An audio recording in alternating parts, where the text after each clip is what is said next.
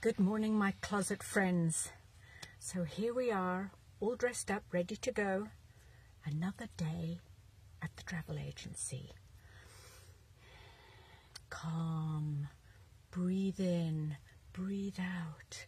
Yes, okay, I think I'm ready. I can do this. I can face anything that comes my way, I think. But listen, winter is really coming now, and um, just went out for a run this morning, and it's really cold out there. It's going to get colder, and I'm really worried about how am I going to make it through this winter. Uh, you know, you can go away still. I mean, I'm thinking, where would I want to go?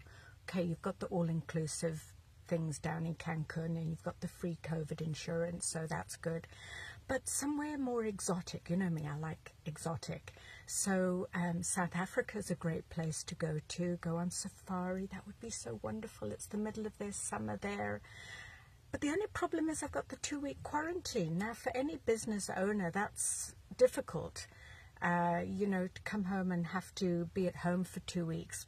And I'm kind of weighing up the pros and cons of that because is it that difficult? Because everything's being done by Zoom.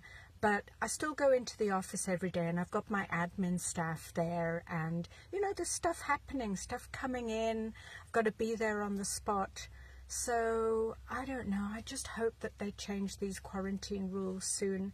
It's, it's six months, do you know? We're now 1st of October.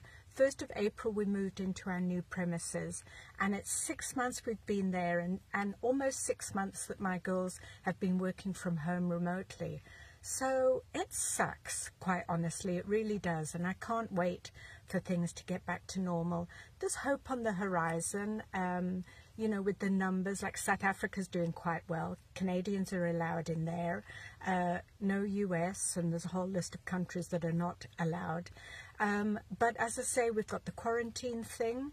Um, at least we can get insurance now with Manulife, so that's one thing. So, you know what? I love my job. I love my job. I love my job. I do. I really do love my job. I promise. And I love you guys too. So you have a great day.